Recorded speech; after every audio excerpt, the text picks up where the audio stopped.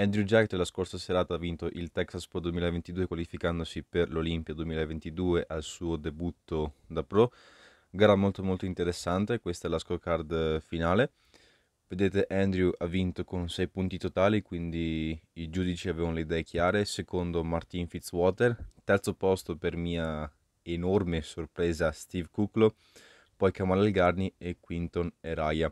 Allora non mi sarei mai aspettato innanzitutto che Steve sarebbe arrivato terzo e che Andrew ehm, avrebbe vinto la gara. Non me lo sarei veramente mai aspettato che sarebbe andata così la gara alla fine Steve è arrivato terzo perché non era nella sua miglior forma di sempre.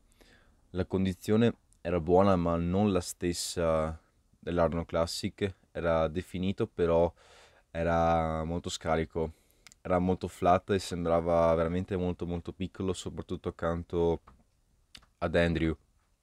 Ora con il suo terzo posto ha preso mi pare 3 o 4 punti e quindi è terzo nella classifica punti quindi a, per il momento lui è qualificato all'Olimpia a meno che eh, qualcuno non lo superi nella classifica. Questa tra l'altro era anche l'ultima gara negli Stati Uniti, quindi se vuole qualificarsi all'Olimpia vincendo una gara dovrà fare qualche gara europea.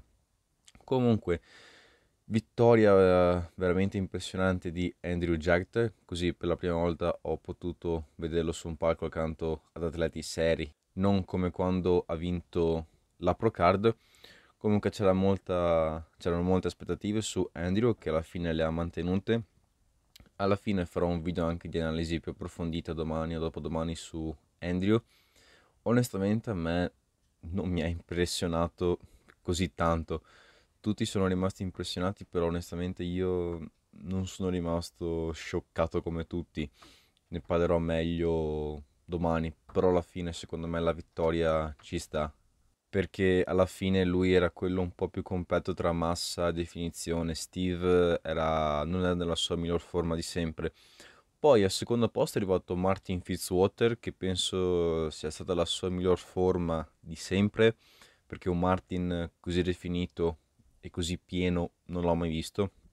Ha portato veramente un'ottima, ottima forma per la prima volta gli ho visto anche i glutei striati che non aveva mai portato, quindi lui e Branch hanno fatto veramente un ottimo lavoro assieme. Poi quarto posto Kamal Algarni.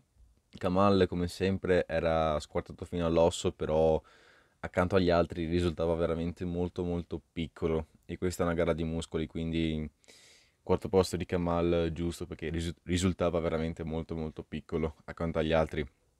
E infine, quinto posto, Quinton e Raya. Ottima prestazione, così simile a Tampa della settimana scorsa, forse era anche un po' più definito.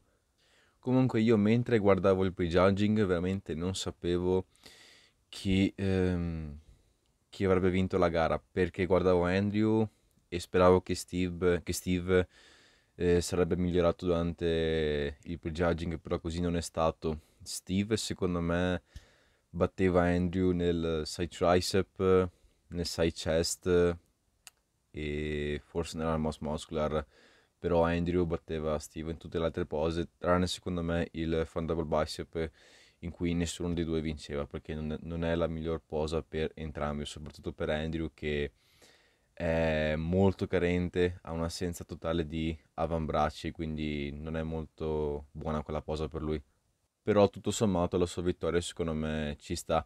Una cosa devo dire, che onestamente preferivo il palco dell'anno scorso, era più bello e anche la live stream era nettamente migliore, perché quest'anno con la live stream, vedete, cioè, per metà inquadrano il pubblico e per metà il palco e non si riesce a vedere niente. E non ci vuole un genio a capirlo che si vede molto sfocato da lontano. Fare uno zoom sarebbe gradevole.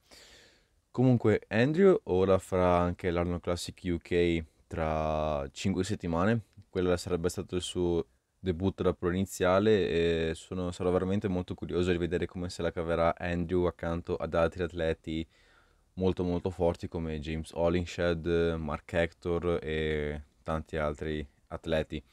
Comunque vittoria di Andrew secondo me ci sta, gara veramente molto molto bella dove qualunque cosa poteva succedere. Fatemi sapere cosa ne pensate, fatemi sapere chi secondo voi meritava veramente questa gara o se l'ha vinta giustamente Andrew. Domani o dopodomani farò un video di analisi sul suo fisico. Fatelo sapere. Vi chiedo like o commento come al solito. Se ancora non siete iscritti, iscrivetevi e ci vediamo in un nuovo video.